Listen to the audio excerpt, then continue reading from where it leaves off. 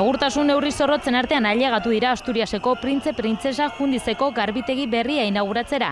Javier de Andres aldu nagusi, Jon Darpon osasun sailburu eta Juan Maria Aburto enplegu eta gizarte politiketako sailburuarekin batera instalazioak bisitatu dituzte. Ilabete darama martxan, baina gaur egin dute ekitaldi ofiziala, ia sortzi milioiko inbertsioa egin du arabako foru aldundiak eraikin berrian.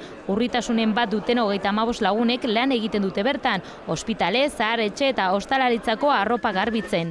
Barruko irudia hori eta kanpokoa berriz beste hau. Indesako langile batzordekoak protestan. Zazpireun bat langileko enpresa publikoan, euneko laro amar urrituak dira. Euren lan balditzak txalatu nahi izan dituzte. Zazpireun, sortzireun, bederatzireun euro kobratzen duen jendearekin elbarriak dienak eta badago dirurik e, ba hori, printzeak ekarteko.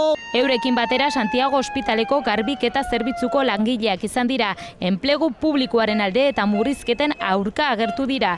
Izan ere, Arabako garbik eta zerbitzu publiko bakarra da egun eta privatizazioaren beldur dira. E, zerbitzu horretan gehienak eventualak dira eta beraz hori eventualak guztiak hori kalera, kalera joango dira, ez? Hori da gertatuko dena. Behin barruko ekitaldia amaituta, oiu artean agurtu dituzte Asturiaseko printze printzesak.